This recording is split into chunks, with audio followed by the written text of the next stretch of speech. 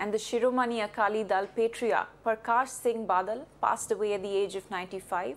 Singh took his last breath in a private hospital in Mohali, where he was admitted on April 16 with respiratory ailments. Now, Parkash Singh Badal was the youngest chief minister to ever hold office in the state of Punjab at the age of just 43.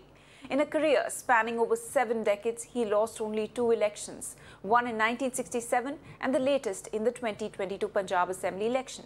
Political leaders across parties expressed their condolences. In fact, uh, two days of national mourning has been declared over the leader's demise.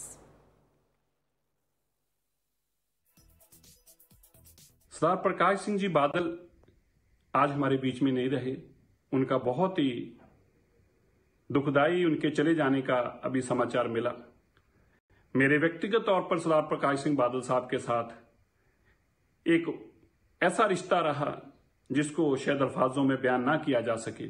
मैं ये मानता हूँ कि मैंने अपने जीवन में समाज के प्रति देश के प्रति सूबे के प्रति सेवा की जो भावना सीखी वो सरदार प्रकाश सिंह बादल से सीखी। उनका सानी कोई नहीं हो सकता उनका मुकाबला भी कोई नहीं कर सकता। उनके जाने से एक युग का अंत हुआ है। पूर्व मुख्यमंत्री प्रकाश सिंह बादल जी इनका दुखद निधन हुआ है, दुर्भाग्यपूर्ण घटना है, दुखद घटना है। प्रकाश सिंह बादल पहले पुराने एनडीए के घटक पक्ष थे और उन्होंने अपने कार्यकाल में बहुत ही अच्छा काम किया हुआ है। उनका दुखद निधन हुआ है, उनका देहांत हुआ है।